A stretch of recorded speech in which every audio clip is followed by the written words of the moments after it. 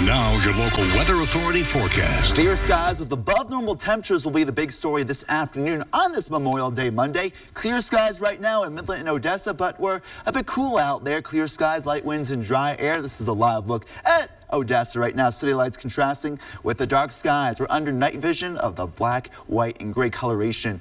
From our camera, thanks to our Springboard Center Sky Tracker, great visibility right now. Satellite and radar showing again pretty quiet weather for now in the Lone Star State. Stormier weather moving closer to the southeast. We have to watch out for some of that later this week with lower temperatures. But in the meantime, pretty hot air, especially this afternoon. A heat advisory in effect till 8 p.m. Central Time for the Marfa Plateau, Fort Stockton, down toward the Rio Grande, generally south of I-10. If you guys are going to be, again, in those areas or are traveling in those areas, please exercise caution. Temperatures above the triple digits, especially south of I-10 and close to 115 near the Rio Grande. But we got a ways to go. We're at 60 at Midland. Low temperature, we could sneak in at 59 this morning. 57 in Hobbs right now, 55 in Marfa. Meanwhile, 73 right now in Presidio. A pretty dry air mass this morning. I mean, Clear skies with 60 degree temperatures in around Midland and Odessa. Again, not too bad of a morning to start off.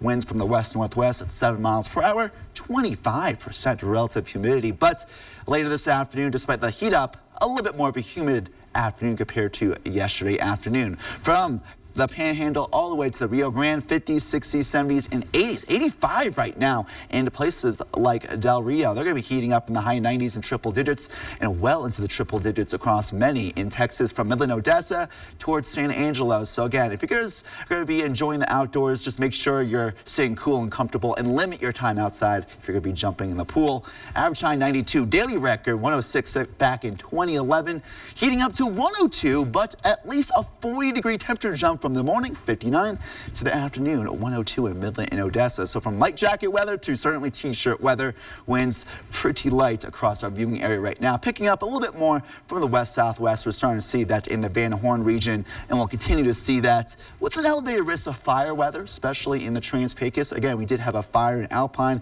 this past weekend, so again, please be careful and don't aimlessly light matches out there. Clear skies overnight, dropping in the 70s, winds from the east-southeast at 15 to 25 miles per hour.